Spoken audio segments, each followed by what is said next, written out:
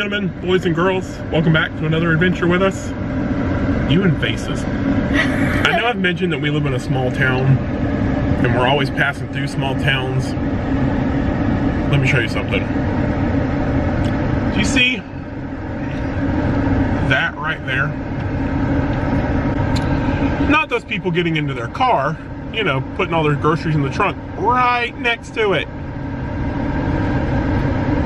That's a lawnmower.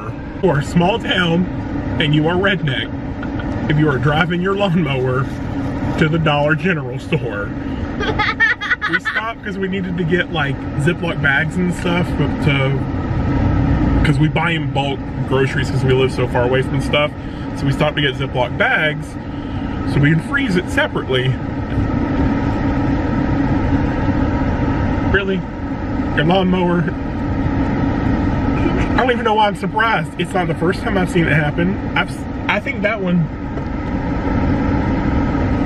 that one's at least still got a deck on it. I've actually seen them where they remove the deck and they drive around town in it. I really want to guess. see someone come out of the store with groceries and drive away on it. Yeah, same here. I don't know. I don't know. We had to go out, take trash to the dump, and then we ran to Walgreens and picked up some stuff and we went and bought some groceries. So headed home, get this all divided up, and then I guess I'm coloring Christin's hair later.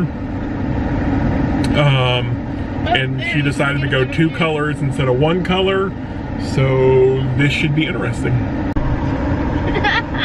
there you go. Proof I wasn't lying. Somebody rode their lawnmower. Not only did they ride their lawnmower, they parked it in a parking spot. so the more I let the thoughts percolate about the lawnmower, there's no difference in that and driving your golf cart to the store. Like, there's not. Like, oh, you have a golf cart, so you've got a lot of money, so you can drive your golf cart to the store. No. No, you shouldn't. Don't drive your golf cart to the store.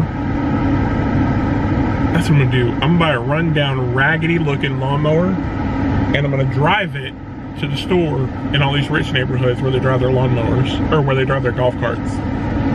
Hey. So you know what, sir, ma'am, whoever's riding the lawnmower, ride it with a chin up.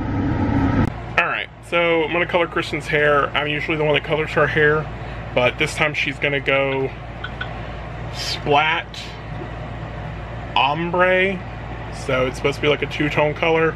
I am in no way a professional at this. I goof it up all the time, and she she still continues to want me to do it, but whatever. So we're gonna try this out, and I'll show you what it looks like in the end. Um, let's put it this way: I do it enough that my hands are too big to wear the gloves that come with them. So I bought my own box of doctor gloves so that I don't stain my fingers, uh, just her forehead and ears. So I'm gonna set up a time lapse uh, with my other camera as we do it to see, uh, um, just just just experiment. But anyways, we're gonna set it up and get going. So the first thing I have to do is bleach her hair. Um, that's got to sit for 30 minutes. I think it's gonna rain, uh, and then we'll color it afterwards, and I'll show you. So, all right, that's what she looks like before I work my magic.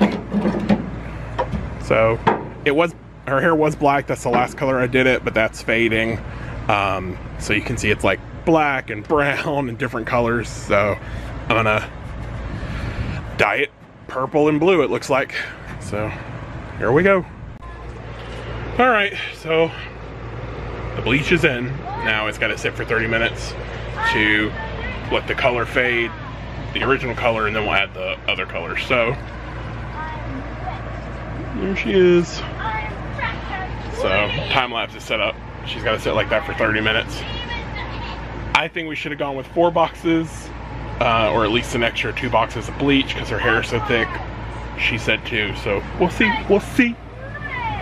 Allie's playing in the water slide because she's weird. That's that's not even how you play in a water slide. Do not squirt water at me in the camera. Spray it at the dog. Almighty power of one time. The dog?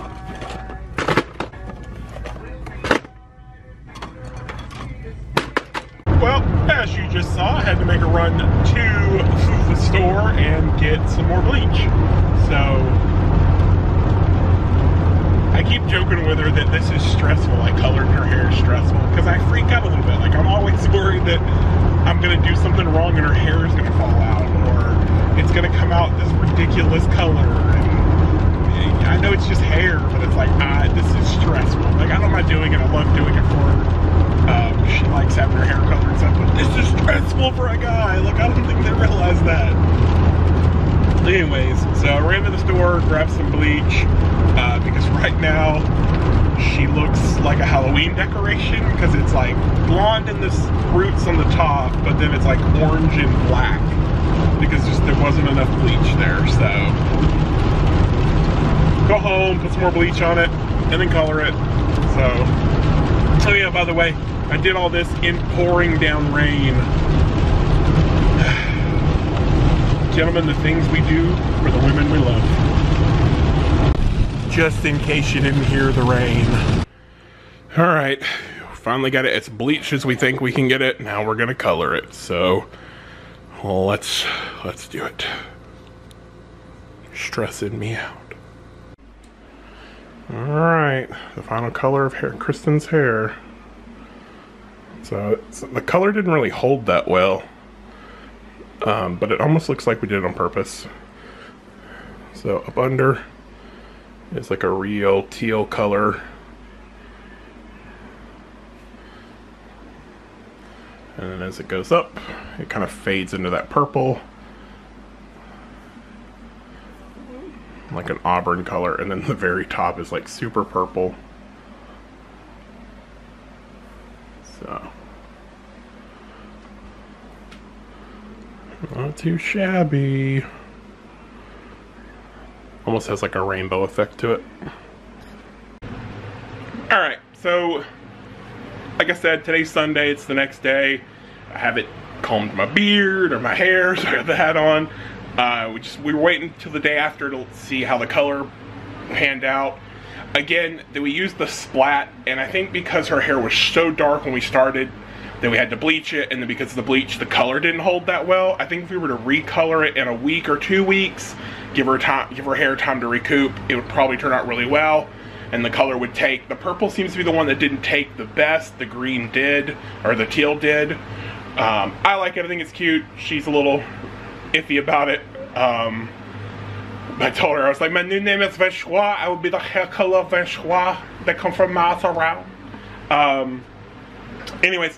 So today's Sunday, we're gonna try and hit the beach today, so we're gonna end this video and go see what kind of shenanigans we can get into. It did start raining yesterday, and it looks like it's rained this morning. I'm hoping we can get to the beach and it not rain, because I wanna do some time-lapse videos and stuff.